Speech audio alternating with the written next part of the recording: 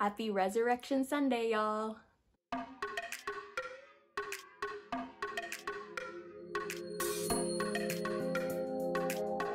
What is up, my dude? My name is Ruthie, and welcome or welcome back to my channel.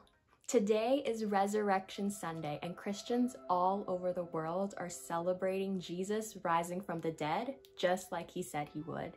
Jesus was the only one who predicted his own death and resurrection, and because of this, we know that he is true to his word. You're a man of your word. if you know, you know. And when we confess with our mouth that Jesus is Lord and believe in our hearts that God raised him from the dead, we will be saved. Guys, when you reflect on what Jesus has done for you, singing about him never gets old. I love singing about the hope that Jesus gave because I know that this world isn't the end. This is not my permanent home. I'm just passing through here on this earth on my way to heaven. John 3:16, one of the greatest if not the greatest verse in the Bible, sums up the gospel. For God so loved the world that he gave his one and only son that whoever underline whoever believes in him will not perish but have eternal life.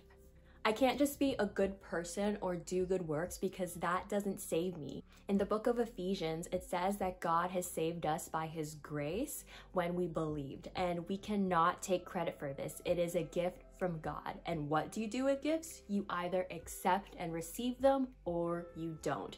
But I pray that you do accept the free gift of salvation today.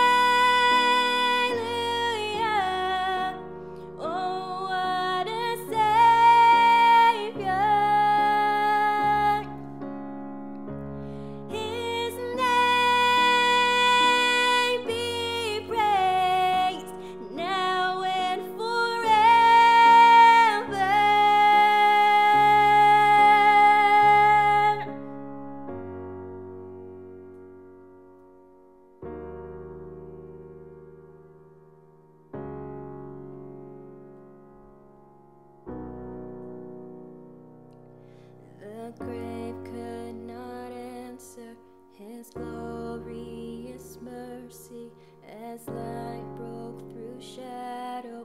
Creation cried, Behold now the Savior, the name so much greater. He overcame death as he rose.